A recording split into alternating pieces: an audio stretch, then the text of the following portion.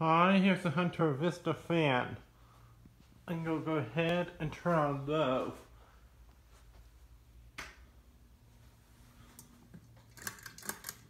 And now I'll be showing medium and high.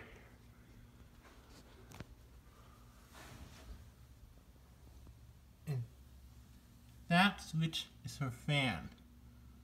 Another switch says fan light. I'm gonna turn it on. And there's another fan light switch, which is right there.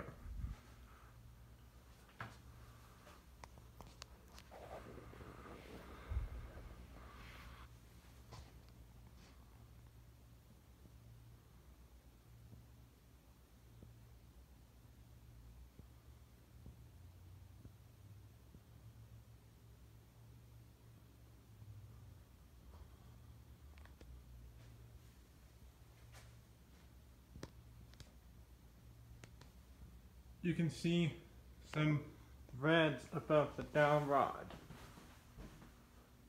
But look, it still has a set screw that doesn't seem to go in too far. So it means the down rod is still being touched by set screw after all. So it should be fine.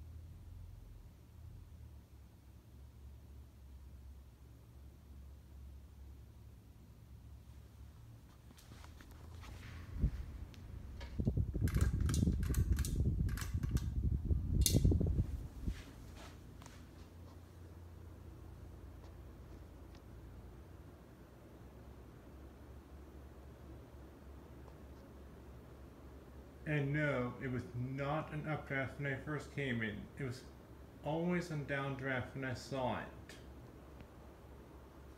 So, maybe the thread from downward is just too long. Or maybe you just somehow got a little bit stuck in the middle. But at least that screw still touches it. And wobbles a little bit and it blows lots of air with Air Max motor which is a skeletal spinner motor. Anyways, thanks for watching. Please remember to comment, rate, subscribe.